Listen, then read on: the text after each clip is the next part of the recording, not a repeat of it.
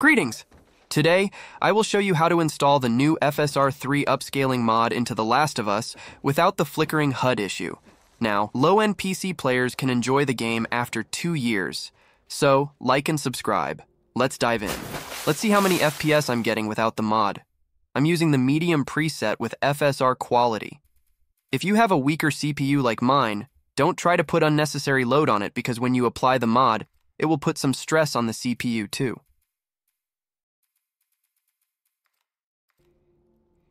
I'm getting decent FPS for the settings I use.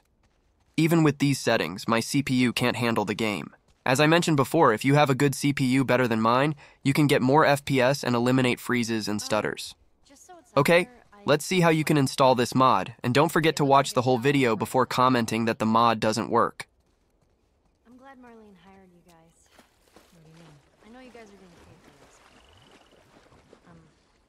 Trying to thanks. Yeah, sure thing. I will put the link in the description for the mod. Go ahead and download it. Go to your game directory. Open the mod file and drag and drop everything into the game directory, or extract it, copy and paste it there.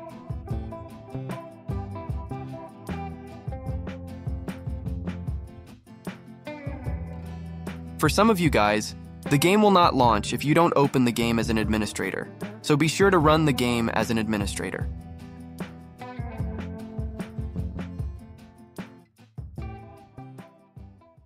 When you launch the game, you will see the Reshade menu on the top left of your screen. That means the mod is installed. At the first launch, the mod is not enabled. Before we enable FSR3 with FrameGen, make sure to enable in-game FSR.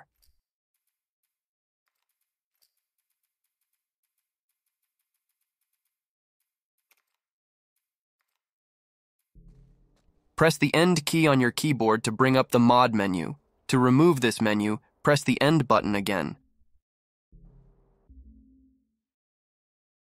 For GTX players, you can switch between Intel XeSS and FSR2 and find what's best for you, but I recommend the FSR3 option.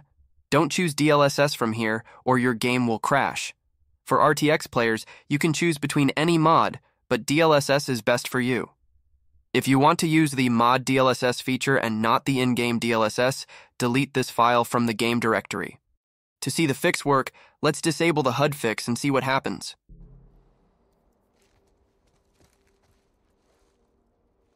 You can see HUD flickering is present when you disable the fix.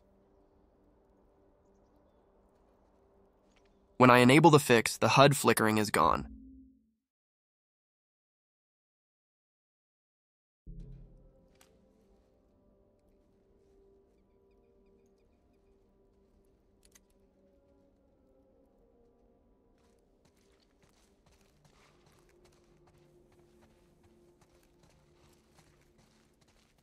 Um, just so it's out there, I can't swim. Look, it looks like it's shallow on the right. You can use the star button in your number pad section to toggle the frame generation on and off. Guys, What do you mean? I know you guys are getting paid for this, but I'm trying to say thanks. Yeah, sure thing.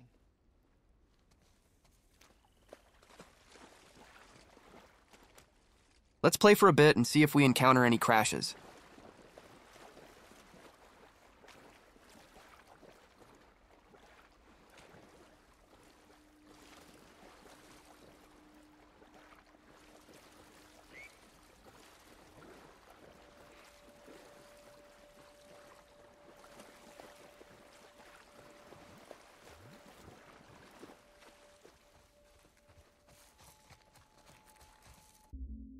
I'm using the same medium preset to test the mod.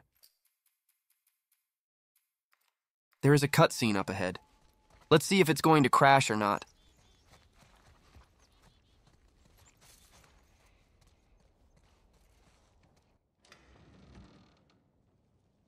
No. No, no, no. What happens now? Doing, Tess? Maybe they, uh.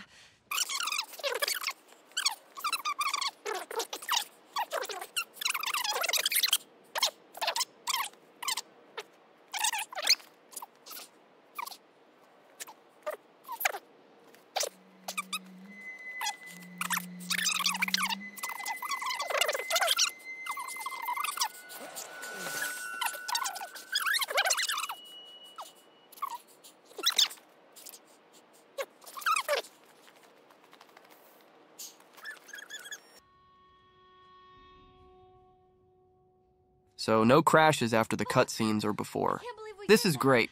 I can finally enjoy the game. We just left her to die. Stop. You stay close to me. We have to move. Oh man. We'll go upstairs. Probably get out from there.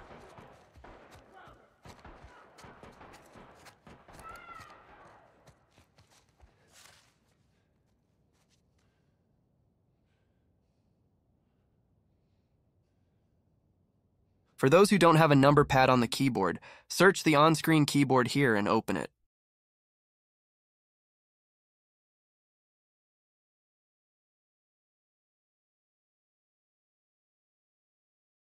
If you still can't see the number pad, go to Options and tick this Turn on Numeric Keypad. Press OK. You now have a number pad. When I click on this star button, you can see my FPS change. You can do the same for the menu too. Click on the End button and you will get the menu. So that's it. Don't change anything in the Reshade menu. And if you follow my steps correctly, you will not have any errors or crashes. As always, like and subscribe. Have a good day.